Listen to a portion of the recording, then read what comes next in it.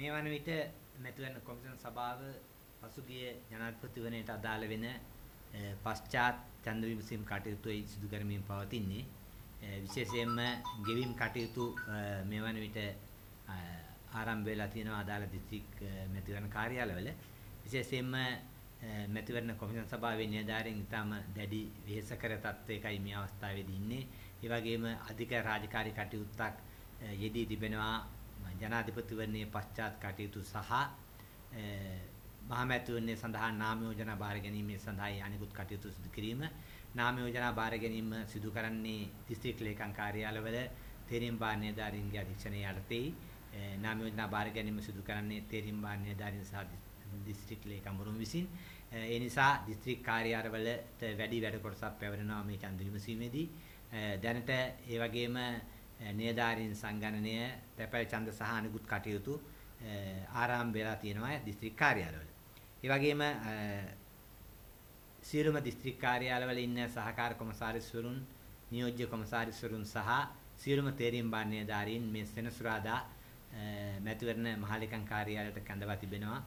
පසුගිය ජනාධිපතිවරණ ඡන්ද විමසීමේදී උගති ඉගෙනගත් අපි ඒ අත්දැකීම් ඒ වගේම ගැටලු සහ ඒ අනිකුත් ප්‍රශ්න පිළිබඳව සාකච්ඡා කරලා ඒ සම්බන්ධයෙන් ඉදිරි මහමැතිවරණය සඳහා ඒයින් අපි ඉගෙනගත යුතු අත්දැකීම් මොනවද කියන එක පරික්ෂා කරලා බලලා ඒ අනුව ඉදිරියේදී සාර්ථකව මහමැතිවරණය පැවැත්වීම සඳහා අවශ්‍ය විධිදානය දීමට.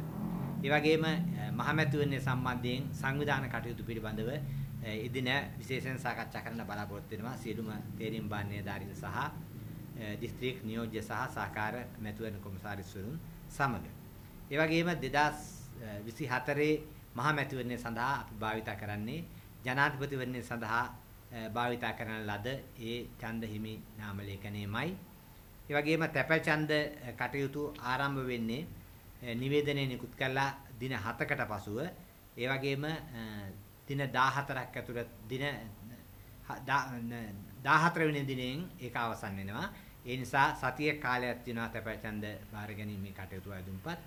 ඒ සම්බන්ධයෙන් අවශ්‍ය වෙන චක්කලයක සහ අනිකුත් කටයුතු මේ දිනවල සූදානම් කරමින් පවතිනවා. මැතිවරණ මහලේකම් කාර්යාලයේදී. ඒ වගේම අපි බලාපොරොත්තු වෙනවා පසුගිය ජනාධිපතිවරණයේදී කටයුතු කළ ආකාරයටම සියලුම මැතිවරණ මහලේකම් කාර්යාලය සහ සියලුම දිස්ත්‍රික් මැතිවරණ කාර්යාලවල මැතිවරණ පැමිණිලි එකක පිහිටවන්න අපි මේ චක්කලේකේ තව දිනකින් පමණ නිකුත් කරන්න අපේක්ෂා කරනවා. චක්කලේකේ නිකුත් කරාට පස්සේ අපි බලාපොරොත්තු වෙනවා පෙර පරිදිම ඒ මැතිවරණ පැමිණිලි සහ අනිකුත් ඒ ඒ ආශ්‍රිත ගැටලු ප්‍රචාරණ කටයුතු සම්බන්ධයෙන් තියෙන ගැටලු විසඳාගෙන ඒ කටයුත්ත කරගෙන යන්න. ඒ වගේම අපි බලාපොරොත්තු වුණා ජනාධිපතිතුමා ඡන්ද විමසීම අවසන් වීමත් සමගම අධිකරණ නියෝගයක් ලබා දී තිබෙන පළාත් පාලන ඡන්ද විමසීම හැකි ඉක්මනින් පැවැත්වීම සඳහා නමුත් ආණ්ඩුක්‍රම ව්‍යවස්ථාවට අනුකූලව ව්‍යස්ථාමයේ කටයුත්තක් වන පාර්ලිමේන්තු මැතිවරණය සඳහා පාර්ලිමේන්තුව විසිරුවා හැරීම නිසා ඒ ඡන්ද විමසීම ඉතා ඉක්මනින් පැවැත්වීමට අවශ්‍ය වෙනවා. මොකද රටේ මූල්‍ය තත්ත්වය සහ අනිකුත් කටයුතු සිදු කිරීම සඳහා පාර්ලිමේන්තුව රැස්වීම අත්‍යවශ්‍ය නිසා ඒ නිසා අපි බලාපොරොත්තු වෙනවා ජනාධිපතිවරණයෙන් පසුව මේ පාර්ලිමේන්තු ඡන්ද විමසීමත් අවසන් වීම අවසන් වූ හැකි ඉක්මනින්ම උසාවි නියෝග අධිකරණ නියෝග අනුව ඒ අදාළ පළාත් පාලන මැතිවරණය පැවැත්වීම සඳහා ඒ සඳහා කඩිනම් පියවර ගැනීමට මැතිවරණ කොමිෂන් සභාව අදහස් කරමින් සිටිනවා. ජනාධිපති මහමැතිවරණය සම්බන්ධයෙන් ඒ අදාළ එක් එක් දිස්ත්‍රික්කය සඳහා නැත්නම් මැතිවරණ කොට්ටාසි සඳහා තේරීපත්තන മന്ത്രിවරුන් සංඛ්‍යාව සහ නාම යෝජනා සඳහා අවශ්‍ය වෙන മന്ത്രിවරු සංඛ්‍යාව ඒ වගේම ඒ ඡන්ද බීම සීම සඳහා තැන්පත් කළ යුතු අපමුදල් සංඛ්‍යාව සඳහන් වන ගැසට් නිවේදනය මේ වනට නිකුත් කරලා තියෙනවා. ඒ අනුව ඒ අදාළ අපේක්ෂකීන්ට හැකියාව තියෙනවා නියමිත කාල සීමාව තුළදී ඒ සඳහා සූදානම් වීමට. මේ ඩිස්ත්‍රික්ක වල මම 2024 ඉලන්නේ සඳහා ආසන මන්ත්‍රීවරු සංඛ්‍යාව ඔහොම ගැලවීමක් කරලා තියෙනවා. ඒ කියන්නේ ආසන සංඛ්‍යාව ගියවර ගිය පාර්ලිමේන්තු මැතිවරණ වලට මේ ආසන සංඛ්‍යාව වැඩිවීමක් කියලා තියෙනවා.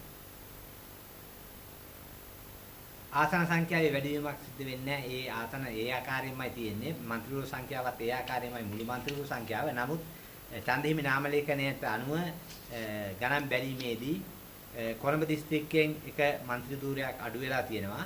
ඒ වගේම යාපනයේ දිස්ත්‍රික්කයෙන් එක මන්ත්‍රී ධූරයක් අඩු වෙලා තියෙනවා. ඒ මන්ත්‍රී ධූර දෙක ගම්පහ දිස්ත්‍රික්කයට සහ කළුතර දිස්ත්‍රික්කයට එක බැගින් වැඩිවීමක් සිද්ධ වෙනවා. අනිකුත් සියලුම මැතිවරණ කොටසවල ඒ තිබුණු ආකාරයටම තමයි මන්ත්‍රීවරුන් සංඛ්‍යාව තීරණය වෙලා තියෙන්නේ. මේ අඩු වැඩි වෙන්න හේතුව, ඒ කියන්නේ කොළඹ අඩු වෙන්න හේතුව මොකද ජනගහණය අඩු වීමක් ඒ අඩු වැඩි වීමට හේතුව ඡන්දදායකයන් සංඛ්‍යාව ඡන්දදායකයන් සංඛ්‍යාවේ අදාළ දිස්ත්‍රික්කය වලින් ඒ වල ඒ සංඛ්‍යාවෙන් മന്ത്രിවරු සංඛ්‍යාවෙන් බෙදීමෙන් තමයි මේ ප්‍රමාණය තීරණය වෙන්නේ. ඒ අනුව ඡන්දදායක සංඛ්‍යාවේ අඩු වැඩි වීම අනුව තමයි මේක සිද්ධ වෙන්නේ. මේක සෑම මීට පෙරත් ඒ අදාළ වන අවස්ථාවලදී මේ අඩු වැඩි වීම සිද්ධ වෙලා තියෙනවා. අපි 2025 අයවැය ලේඛනය සඳහා තමයි මේ පාර්ලිමේන්තු මැතිවරණයට මුදල් ඉල්ලුම් කරේ. අපි මිලියන බිලියන 11ක් ඇස්තමේන්තු කරලා තිබුණා මේ අවස්ථාවේදී. අපි බලාපොරොත්තු වුණේ 2025 අගෝස්තු මාසයේ තමයි පාර්ලිමේන්තු ඡන්ද විමසීම පවත්වන්න නියමිතව තිබෙන්නේ. ඒ ඒ සඳහායි අපි මේ අවස්ථාවේදී ඉදිරිපත් වුණේ. ඉතින් අපි විශ්වාස කරනවා ඒ වගේම ආණ්ඩුක්‍රම ව්‍යවස්ථාවේ ප්‍රතිපාදන තියෙනවා පාර්ලිමේන්තුව විසිරුවා තිබෙන අවස්ථාවක යම් කිසි විදියකින් පාර්ලිමේන්තු මැතිවරණයක් පවත්වන අවස්ථාවකදී ජනාධිපතිවරයාට ඒ මුදල් ප්‍රමාණය වෙන් කරලා දීමට හැකියාව තියෙනවා. ඒ අනුව අපි බලාපොරොත්තු වෙනවා ඉදිරියේදී මුදල් අමාත්‍යාංශයේ ලේකම්වරයා සමග සාකච්ඡා කරලා ඒ අවශ්‍ය ප්‍රතිපාදන වෙන් කර ගන්න. දේශපාලන පක්ෂවල සාධීන කණ්ඩායම් වල മന്ത്രിවරුන්ගේ අපමුදල් වල වෙනසක් වෙලා තියෙනවා කියලා නෑ කිසිම වෙනසක් වෙලා නෑ. පහුගිය අවස්ථාවේදී තිබුණු ඒ අපමුදල් ප්‍රමාණයමයි තියෙන්නේ. ජන සමාජ මාධ්‍යයෙන් දැන් ජනාධිපතිවරණයෙන් ආපු පැමිණිලි කොහොමද? සහ දෙන්නවල උපදෙස් මොකක්ද මහත්තයා? ජනාධිපතිවරණයෙන් ආපු පැමිණිලි බොහෝ දුරට ඒවා විසඳලා අවසන්. මම හිතන්නේ අපට ලැබුණු පැමිණිලි වලින් සුළු ප්‍රමාණයක් තමයි ඉතිරි වෙලා තියෙන්නේ. ඒවත් විශාල ගැටලු නෙමෙයි. සියලු දෙනාටම අපේක්ෂකීන්ට ඡන්දදායකින් සහ දේශපාලන පක්ෂවල දෙන්න තියෙන ඉල්ලීම තමයි කරන්න තියෙන ඉල්ලීම මේ ජනාධිපතිවරණයේදී හැසිරුණු ආකාරයටම නිදහස් සහ සාධාරණ ඡන්ද විමසීමක් පැවැත්වීම සඳහා මැතිවරණ කොමිසම සභාවට සහයෝගය දෙන්න කියන එක. අපි බලාපොරොත්තු වෙනවා ඒ ජනාධිපතිවරණයේදී කටයුතු කළ ආකාරයටම ඊටා මනා පාලනයකින් යුතුව ප්‍රචණ්ඩ ක්‍රියා ඒ වගේම නීති විරෝධී ක්‍රියා දීපල අවභාවිතා කිරීම රාජ්‍ය දීපල අවභාවිතා කිරීම ආදිය හැකිතාක් දුරට පාලනය කරලා ඡන්දදායකයින්ට නිදහස සාධාරණ ලෙස තමන්ගේ ඡන්දය ප්‍රකාශ කරන්න අවස්ථාව ලබා දෙන්න. විශේෂයෙන්ම පහුගිය ජනාධිපතිවරණය සම්බන්ධයෙන් විදේශීය නිරීක්ෂකයින් වගේම දේශීය නිරීක්ෂකයිනුත් ඉතා හොඳ ප්‍රතිචාරයක් දක්වලා තිබෙනවා විශේෂයෙන්ම ප්‍රසසුම් කරලා තියෙනවා මැතිවරණ කොමිසම සභාව කටයුතු කළ ආකාරය සම්බන්ධයෙන් අපි බලාපොරොත්තු වෙනවා ඉදිරි ඡන්ද විමසීමේදී ඒ ආකාරයෙන්ම කටයුතු කරන්න. ඒ කියන්නේ මේ මහමැතිවරණයටත් විදේශීය නිරීක්ෂකවරුන් එනවද? ඒක තාම තීරණය කළා නැහැ. ඒක කොමිෂන් සභාව රැස් වුණාට පසුව තමයි තීරණය කරන්නේ.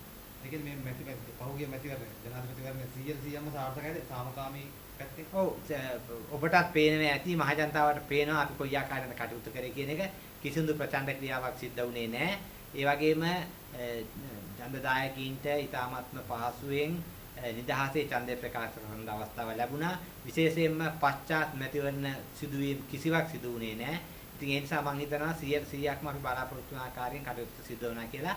පොඩි පොඩි සිදුවීම් සිද්ධ වෙන්නේ නැති. නමුත් සමස්තයක් වශයෙන් බැලුවාම ඉතාමත්ම සාර්ථක ඡන්ද විමසීමක් කියලා ප්‍රකාශ කරන්න පුළුවන්.